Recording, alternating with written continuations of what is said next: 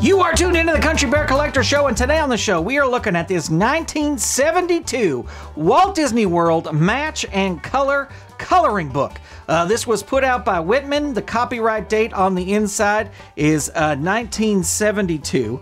And what this is, is a, a, a, sort of a coloring book. It's sort of half coloring book, half picture book. And the idea is that they give you uh, pictures that are already colored in, and then you take your crayons and you match those pictures. Uh, so you would want to, you know, you want to color this one uh, just as this one is colored. Uh, now, I think, of course, that takes all the creativity out of the way. Um, this book is used. There's a couple pages uh, that have coloring on them, um, like this this uh, this train, this train one back here, and then there's this other one uh, of um, uh, people swimming.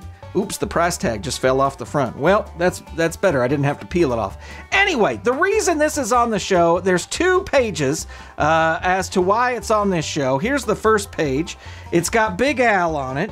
And you can see uh, they got the colors for 1972. I'll tell you, they got the colors in this original picture pretty spot on. Because uh, we've seen some stuff from 1972 where the colors are like, what?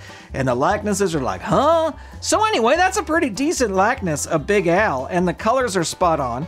And then there's one other page here. Let me flip through and find it. There it is. We have the Five Bear Rug.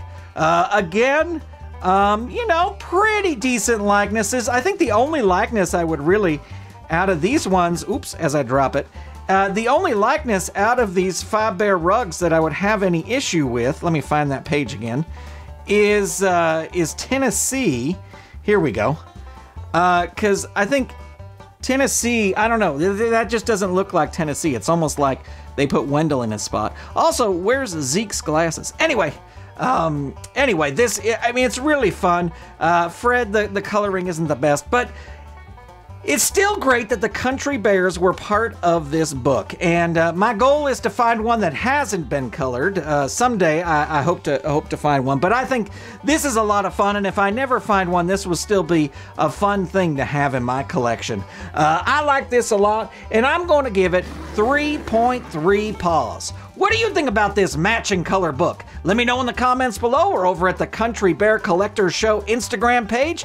Make sure you're following us on social media. Make sure you're subscribed so you never miss an episode. And make sure you tune in next time right here to the Country Bear Collector Show. If you enjoyed the show, give us a like and click the subscribe button. If you'd like to see the show continue, consider supporting Saturday Morning Media via Patreon at patreon.com forward slash Saturday Morning Media.